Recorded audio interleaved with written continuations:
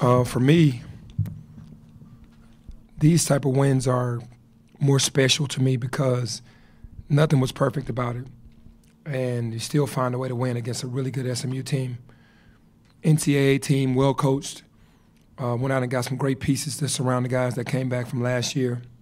I knew what kind of game it was going to be because they've always played us tough no matter what game when Katie was there or whatever. So I didn't expect anything less from them. I'm a little disappointed in some areas with us, but man, the second half we played was was phenomenal.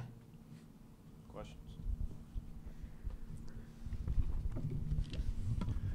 Penny, uh, these past two weeks with, I guess, three, you know, kind of lackluster performances, and now, you know, what happened with Caleb Mills, is that the most adversity this team's faced um, that stretch um, in the season?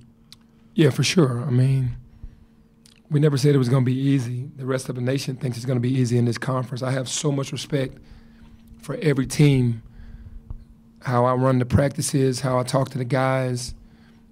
It's like every game is a high major game because these kids are capable, man. They they they read all the clippings about us, FAU. They see the nation talk about that they're not good. It's not even close. SMU is an NCAA team. It's more than a two bid league, and I'll I'll always say that. I'm not just saying it, and uh, we're always going to get a good game. But the adversity is okay. You know, you can learn from it, and um, thank God we're learning from it while we're winning. And what's the diagnosis or with Mills? What, what's going on with that? Kneecap.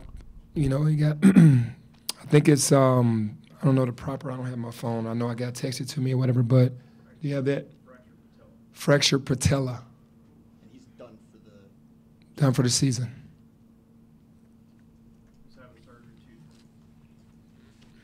Coach, kind of take. Oh, first off, great win. Thank you. Yes, sir. Now take us to that timeout with the last seconds in the game.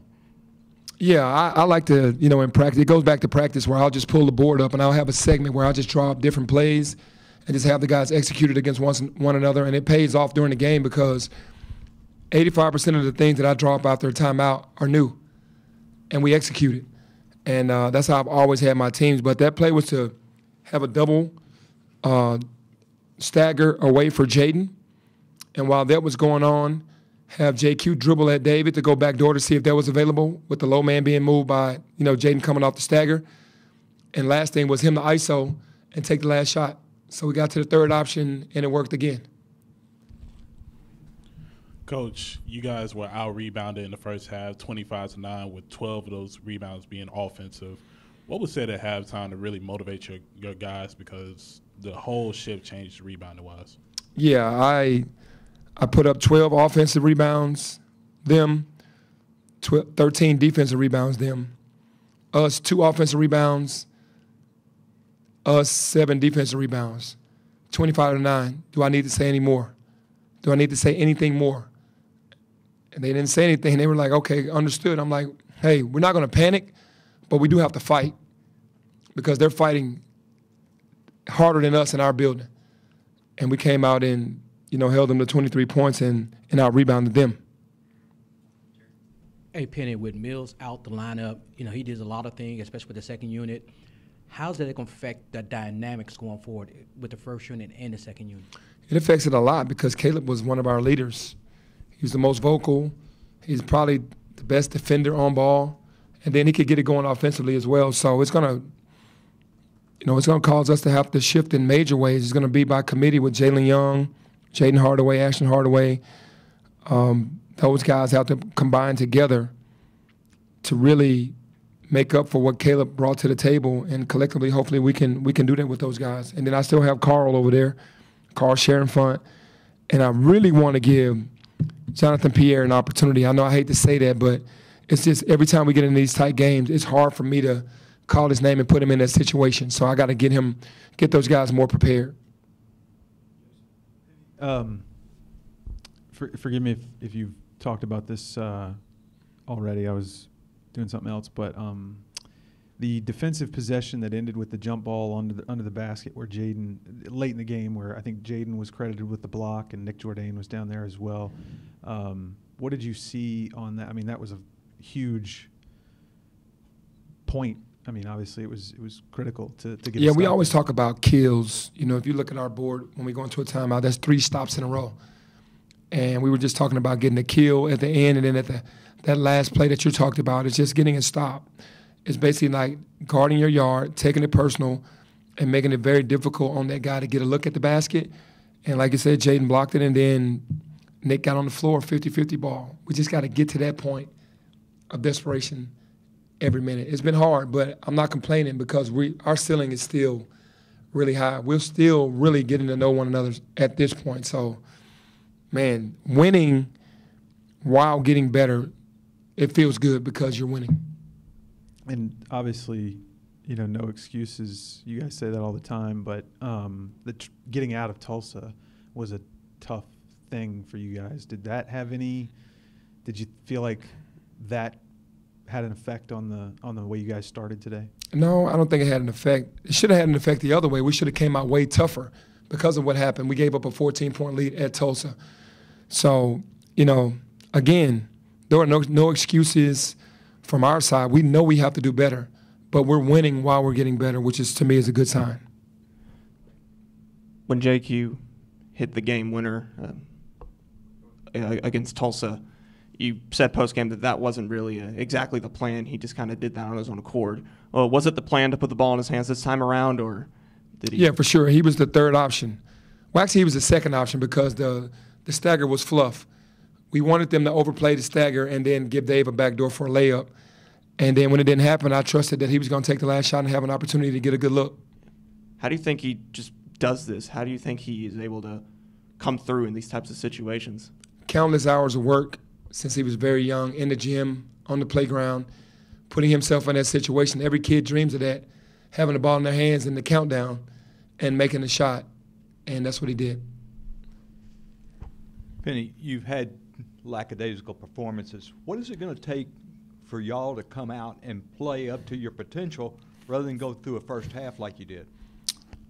I just have to keep saying the same things different ways because we're very well aware of what you're talking about. But again, give the other teams credit. We're not going to be like the rest of the nation. I mean, I'm not saying that SMU is Purdue, but at the end of the day, they're a really good team that should be in the NCAA tournament. I mean, I, I view them that way by looking at their roster. Watched a lot of games and watched them today. Today, so, but for to answer your question, it's going to take five guys first to go out there and go, okay, we're going to be relentless for 40 minutes, and we're going to bring the rest of the guys with us. That hadn't happened yet. Maybe two or three, but never five at one time, unless it gets desperate like it does at the end of the game. Penny, we've seen throughout the season this team's confidence level is very high. You could see it at the end of the last game and this game with the shot, shot selection, body language, etc. Would you say that this team is one of the more confident teams that you've coached? Yeah, it's, it's almost too confident because they feel like at any moment, it doesn't matter if we're down. It's twofold to me. That's a good sign that we feel like we can win no matter what we're down, but also we get down because we get overconfident and feeling like, oh, we'll be able to come back at any moment. And it's been it's been on our side, and we it hadn't come back to bite us yet, and we don't want it to. We want to change it, but I mean that's that's just the way this team has been playing. Coach, let's talk about the abilities of Jalen Young. When you inserted him in the game, he was a difference maker. And uh, I have another question as well. Status update on J.J. Taylor. Yeah, Jalen is. He really deserves more minutes, man. I get caught up into the game. Such a great him and Jaden come into the game and give us everything they have, whether they play three minutes or 13 or 20. And I got to find a way to get Jalen back out on that court more because when he and JQ are out there, they're actually playing really well. And um, you know that's all on me. Uh, he definitely deserves more minutes, and he he makes winning plays while he's out there. Uh, but when you have David and Jaykwon with their size and their length and they're playing well, it's been hard for me to put those four guys on the floor with one big. Maybe I'll start doing that. Um, and as far as J.J. Taylor, J.J. Taylor right now is just still suspended and uh, waiting on him to uh, to finish his suspension. Coach Nick Jourdain was a real spark for you guys defensively. Talk about what he what he really brought to the team when you guys were struggling. Well, Nick brings the toughness and the energy no matter what's going on. He's the guy that's going to be relentless. He's one of the guys that's going to play his heart out for however many minutes he plays out there on the floor. And the mistakes that he makes are really nothing compares to what he brings to the table from shot block, shot blocking. He had four of those today, to rebounding, to guarding one through five, running the floor, knocking down shots. is just what it was just a major, major, major pickup for us to, to have him with us. Can can you live with playing dangerously, even if it does come back to bite you, maybe cost you a win or two, a, a, a, a couple seed spots, if it pays off in pressure situations in March? We've had enough close games in my mind. I don't want to play dangerously. I really want to be the, the coach that comes in and watch us execute on both sides of the ball and do what we're supposed to do. I mean, we're not disrespecting anyone. We want to go in the game and make it hard for them on, on both ends, being very aggressive offensively and defensively. So I don't want a loss to have to make us learn from our mistakes. I want to just learn from them and just keep going. But these teams, they're going to keep pushing the buttons against us because we're ranked. We have a number by our name, and every game is going to be tough. We have to know that. But I would love to just do what we're being taught and do it at a high level with energy and effort for 40 minutes. I got two for you real quick, but you know, you talked about the balance between kind of letting guys be creative on offense versus reeling things in because of the turnovers and whatnot. Uh, today with 16 turnovers again, and David Jones with with four himself. Do you think it's time to kind of reel things in with the team, and in particular with David Jones? Yeah, I, I've been doing that every game and trying to do more of it because he's such a great player. What makes him great is what makes him bad because his confidence is so high. He'll go one against five.